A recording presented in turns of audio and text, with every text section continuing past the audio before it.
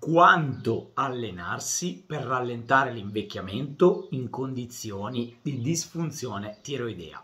Buongiorno a tutti, sono il dottor Davide Teggi, sono il cofondatore di Fitness 40, sono anche il eh, fondatore del gruppo Allenamento 40 per la tiroide, l'allenamento, l'allenamento per la salute metabolica e oggi voglio parlarti di come attraverso l'esercizio fisico puoi davvero rallentare l'orologio biologico. Ecco, una delle condizioni associate alla condizione di una tiroide che eh, lavora troppo lavora poco, quindi produce pochi ormoni tiroidei oppure ne produce in eccesso, quindi la condizione di ipotiroidismo o la condizione di ipertiroidismo, qualunque essa sia, che sia di natura autoimmune oppure che sia di, su base infiammatoria, che sia eh, subclinica o, o, che sia di, di, di qualunque tipo, c'è sempre una piccola cosa in comune, un aumentato invecchiamento cellulare. Ora,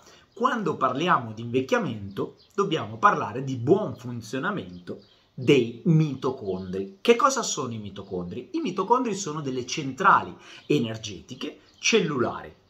Infatti si è visto associato un malfunzionamento, una poca efficienza del mitocondrio alla aumentata velocità con la quale vado a invecchiare ok? Quindi l'invecchiamento è associato anche e soprattutto a una condizione di stress, stress cellulare, ovvero stress ossidativo. Ok? Avete presente quando lasciamo una mela a metà e la andiamo a riprendere dopo due ore, magari d'estate? Ecco, questa mela nella sua parte, diciamo, esposta all'ossigeno, si ossida e quindi invecchia precocemente, matura più velocemente. Ed è la stessa cosa che accade poi nell'essere umano. Ora l'ho sicuramente circoscritta a una situazione un po' particolare, quella della mela, ma quando andiamo a parlare di attività e di esercizio fisico, dobbiamo tenere presente una bellissima review che è uscita sul BMJ Journal eh, a febbraio di quest'anno, febbraio di 2000, del 2022. Che cosa dice? Che cosa c'è scritto su questa review?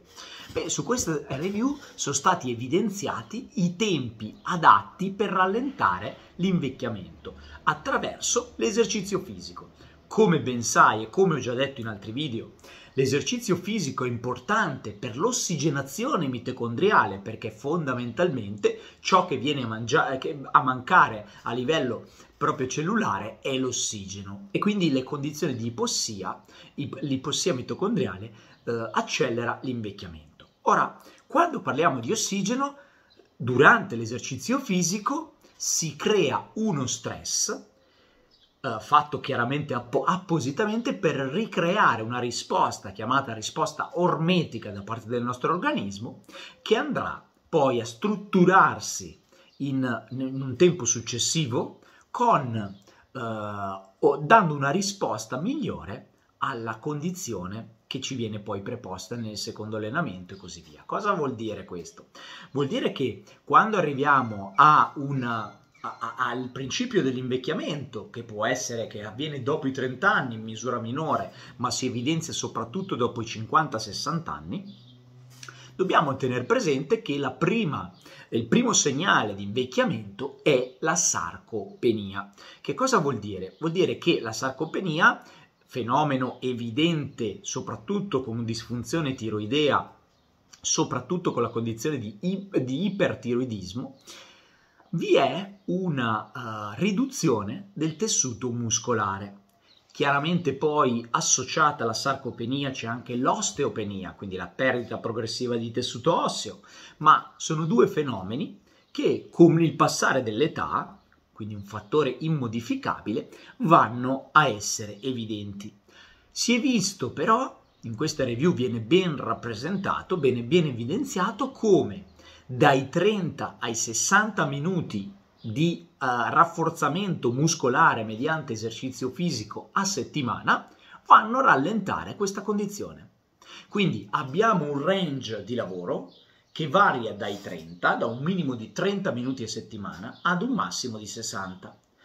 Vedete come eh, la quantità è fondamentale perché? Perché 10 minuti di attività, faccio l'esempio, a settimana sono parificabili a 70-80 minuti, ovvero le due condizioni estreme fanno sì che venga accelerato l'invecchiamento. Ora, ci so, so che se stai ascoltando probabilmente ti alleni di meno rispetto a questa quantità oppure di più, infatti frequenti sono le donne che incontro in consulenza all'interno dei nostri percorsi di rinascita, che si allenano, magari donna di 40-50 anni, che si allena per 5 ore alla settimana con i pesi.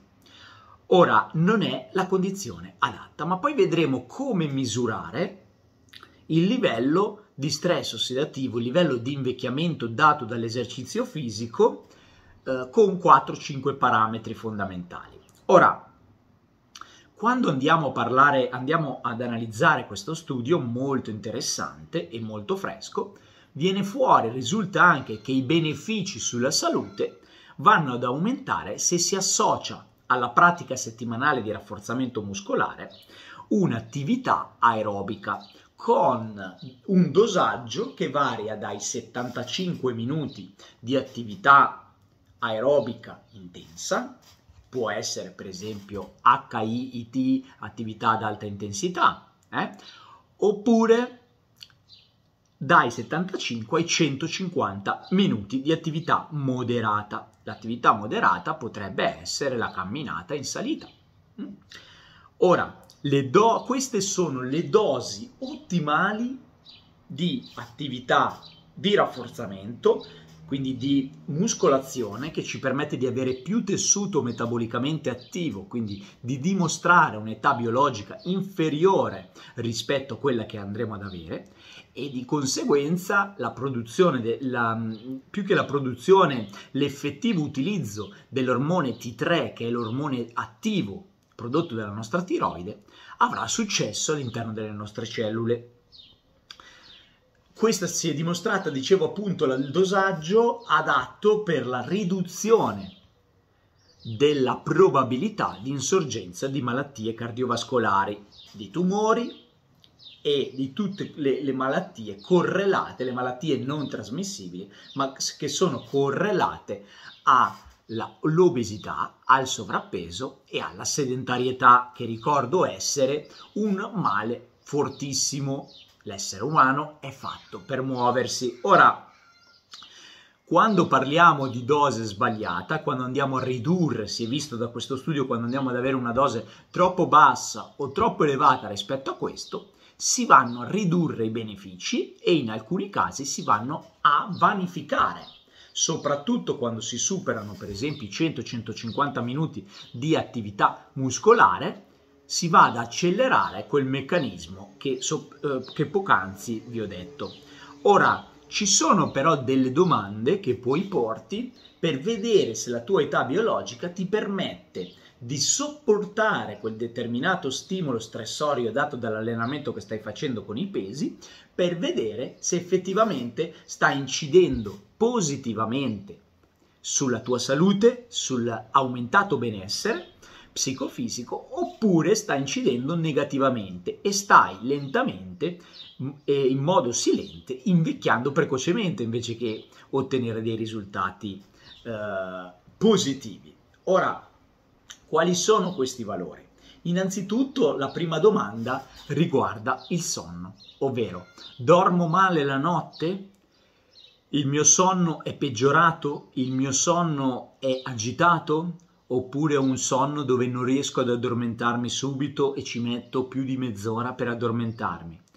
Il mio sonno è abbastanza profondo? Ecco, il confronto tra la mia condizione attuale mentre sto facendo gli allenamenti attuali rispetto a una condizione dove non mi allenavo può essere confrontata con il sonno. Il sonno è un elemento molto importante, dai i ricercatori hanno visto essere uno degli elementi più importanti nella valutazione dell'invecchiamento biologico.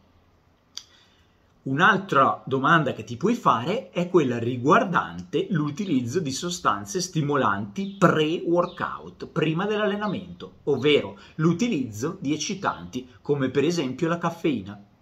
eh, se hai un, uh, una necessità, una sorta di dipendenza dal caffè pre-workout, che potrebbe essere quello di 5 ore prima e poi quello di mezz'ora prima. Quindi se hai bisogno di sostanze eccitanti per svegliarti, per fare l'esercizio, forse il tuo corpo non ha ancora recuperato e forse non stai andando a inficiare negativamente sulla supercompensazione data del, dall'esercizio, ovvero faccio un allenamento, la mia condizione peggiora, ma, ma quando arrivo al secondo allenamento la mia condizione è superiore a quella di partenza rispetto a quello del primo allenamento. Quindi la, la supercompensazione ti, è proprio il principio dell'allenamento, ma quando accade che mentre vado a fare l'allenamento successivo, io non ho ancora re- eh, recuperato, oppure sono in una giornata no, dove, e accade molto spesso, dove ho bisogno di eccitanti, allora questo è un altro elemento chiave e importante che va a, fa- a farti riflettere se la quantità di allenamento che stai facendo è eccessiva. Non solo, il terzo elemento, che non è da poco ed è uno degli elementi più importanti che all'interno dei percorsi di rinascita andiamo a valutare quando prendiamo una persona da zero e la portiamo a uno stato psicofisico eccezionale, è i progressi nell'allenamento che puoi misurare con la fatica, quindi una riduzione della fatica rispetto alla volta precedente, alle volte precedenti significa che io sto effettivamente andando in una condizione dove mi sto adattando, ma non solo, sto alzando più carichi di tre mesi fa, di due mesi fa? Mi devo chiedere anche questo, perché? Perché se effettivamente io sono da mesi sempre stallato su quei pesi, sempre stallato su quelle ripetizioni, non riesco a salire, probabilmente la tua condizione l'allenamento sta inficiando negativamente sul tuo benessere psicofisico e il famoso stimolo ricercato chiamato stimolo ormetico non esiste più, ovvero l'esercizio mi sta invecchiando precocemente.